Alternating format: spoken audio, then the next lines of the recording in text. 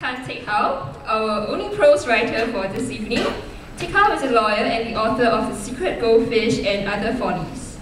He also wrote and directed the pilot episode The Flower Shop of the Drive TV anthology series, which was executive produced by Eric Khoo.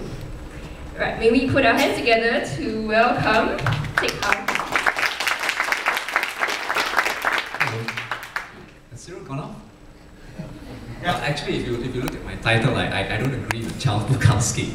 Uh, certainly, I think uh, from my own experience uh, writing prose, uh, it is hard work. And uh, as, as Mika said earlier, it's something that you've got to, uh, it's like a discipline. You've got to devote yourself to it, you've got to nurture it, you've got to set aside certain amount of time every day, if you can, to do it. Okay, it's an accumulation of hours and hours of effort.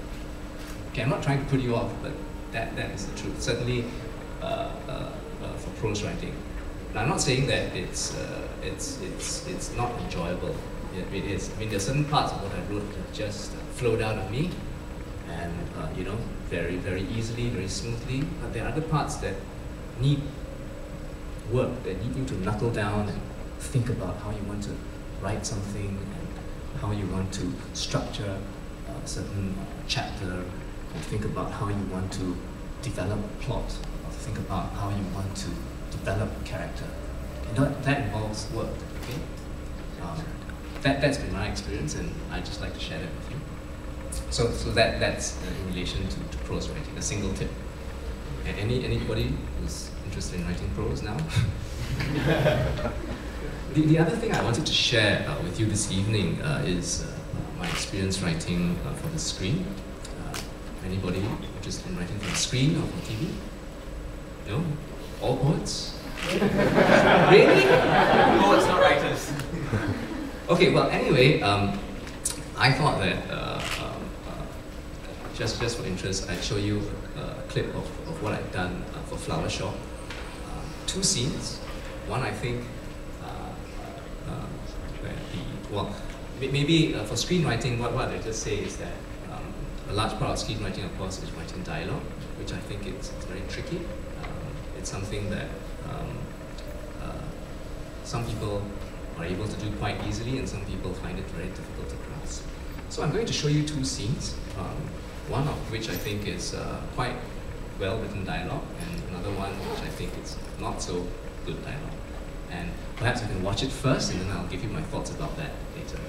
And uh, like Kai Chai, I'm afraid I'm going to have to use up my uh, five minutes uh, of allotted time. So if you uh, just bear with me.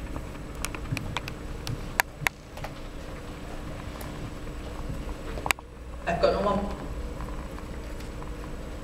money for you, okay?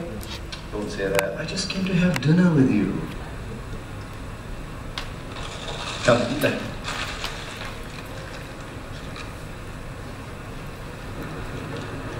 Mm. Hey, how's our boy, huh? Okay, always busy in the U. Hmm. No matter, let him study, get a degree, get a good job. Mm. then you and I relax, huh? Mm. Hey, got any girlfriend? Oh no, he never tells me anything. Maybe you should interrogate him. No lah, he won't tell me. I never told my father about you. I never told my father about any of my girlfriends. You never told me about your girlfriends.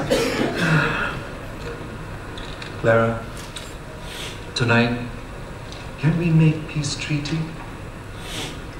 Please? No. so, all things on your side. Okay lah, you know, the usual get together with the boys, have a couple of beers, play cards. Never mind, never mind. Better you don't tell me. So how's business? Okay, good. That's good, isn't it, yeah? Mm.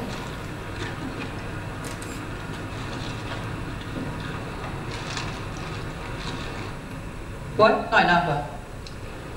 No, got good news. I got a job. Since when? Omar called me this afternoon and he said there's a job opening in his company. And I told him, yeah, I understand lah, I'm broke. I've been jobless for a while. So I asked him for an advance. And you know what? He gave it to me. Congrats. Thanks. I really, really gotta go, yeah? Mm. Otherwise, that one will make noise. ah. Okay. Listen, if there's any work you have to do or anything, Mm. you let me know, yeah? Alright. Any repairs or anything, call me, ah. Yes, sure. Sure not. Bye. Bye. My honey, I love you. Siao. Like I got this friend, Elaine. You know her, right? Elaine? Of course I know Elaine. She's the type who only want a rich guy, okay? She cannot live in a HDB flat, cannot take public transport, must always go restaurant and eat. Right? Yeah lah, like there was this once, right? We took the bus with her. She didn't even know where to put in the coins. Of course. She like chauffeur to school every day, right? But at least she's honest enough to admit it, okay? All the other girls, they want the same thing, but they won't ever admit it. Yeah, yeah, yeah. Like, did you read the interview with Donna Soon for eight days now? They asked her, right, what kind of guy she wanted. She said, only mature men need to apply. Of course, mature means what? Old, rich, and chauffeur around with some big car. That's really sad, man. Yeah, but that's life, what? That's what society is all about. It's all about money. All this talk about what? Investing in shares, upgrading, asset appreciation. yeah, yeah, yeah, yeah, yeah. That's something I never understood, you know. All the prices of property go up, right? They call it asset appreciation. I always thought it was called inflation, right? Of course, it's inflation. I mean, think about it. Your flat appreciate, other people's flat also appreciate. In the end, everything becomes more expensive. Inflation, lah. I mean, it's all about money, lah. Kind of clothes you wear, kind of car you drive, kind of house you live in, where you send your kids to school. I mean, that's what this place is all about, what? So, Mr. Social Commentator, all you can do, right, is complain. But what are you going to do about it? Um, don't know. Maybe write a book about it. I won't hold my breath, though.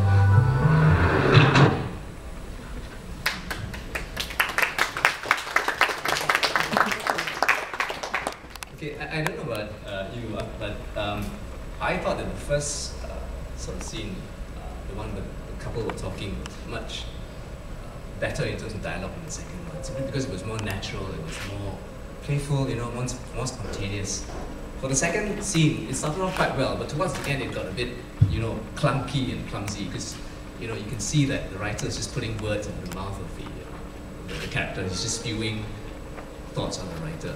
And one- one of the things I found uh, in terms of uh, writing is that when you're in writing dialogue, you need to be invisible as a writer. You know, if you want to avoid a situation where it is very obvious that you're just putting words into the mouth of the character.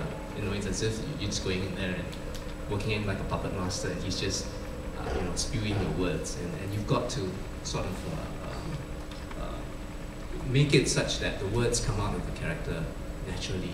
Because if it's just a platform for, you know, uh, your words, then, then it doesn't work.